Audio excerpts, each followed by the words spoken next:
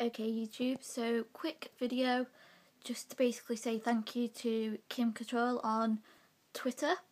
Uh, basically she's been a favourite in my tweets which I really really do appreciate and has also replied to me a few times. She's really really kind and really really lovely so I suggest everybody should go follow her. Um, Kim is known for Sex in the City. Um, she plays Samantha, yep Samantha Jones, that was her character and is now doing a new show called Sensitive Skin, um, which is a Canadian show, but hopefully we'll get it over in England. Hopefully, fingers crossed.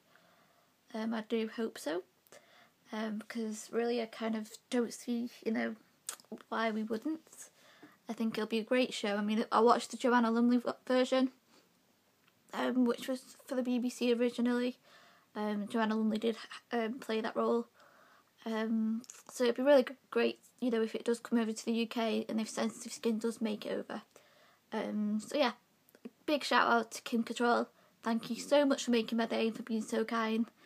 And, you know, everyone go follow her. Bye guys.